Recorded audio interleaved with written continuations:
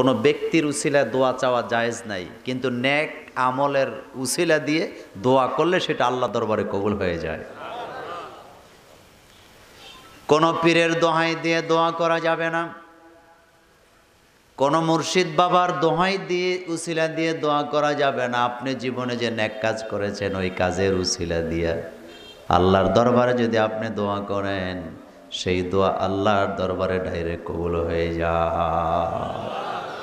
যেমন আপনি একদিন মাকে সুন্দর করে ভাত, কি বলে, তরকারি দিয়ে মাখাইয়া লোকমা দিয়ে খাওয়াইছেন। হঠাৎ বিপদে পড়ে গেছেন।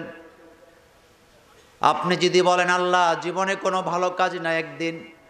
আমার মাকে আমি লোকমা দিয়া খাওয়াইছিলাম, এই উসিলায় তুমি আমাকে ক্ষমা করো বা ভালো করে দাও। আল্লাহ নবী বললেন, সেই দোয়াটা ডাইরেক্ট কবল হয়ে যা।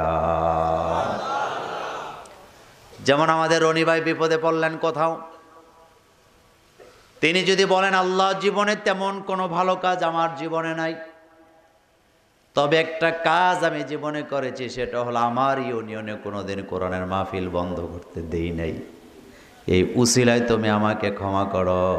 আমি কোরআন সামনে নিয়ে আলেমদেরকে সাক্ষী রেখে বলে যাই, এই দোয়াটা আল্লাহর দরবারে ডাইরেক্ট কবুল হয়ে যায়। কোনো ব্যক্তির উসিলায় দোয়া করা যাবে না, এটা শির। কিন্তু ন্যাক কাজের উসিলা ন্যাক কাজকে স্মরণ করে আল্লাহর কাছে দোয়া করলে সেই দোয়া কবুল। আল্লাহ যেন কবুল করেন, আমরা বলি আমিন। ঠান্ডার রাত, আমি আপনাদেরকে বেশি কষ্ট দেব না। নর্মালি কিছু মেসেজ আমি দিয়ে যাব। আপনারা জানেন আমি খুব শর্ট টাইমে কথা বলি। আজকেও আমরা অল্প সময়ে কোরআনের কিছু পয়েন্টের উপরে কথা বলে আমরা এখান থেকে একসাথে যাব। ইনশা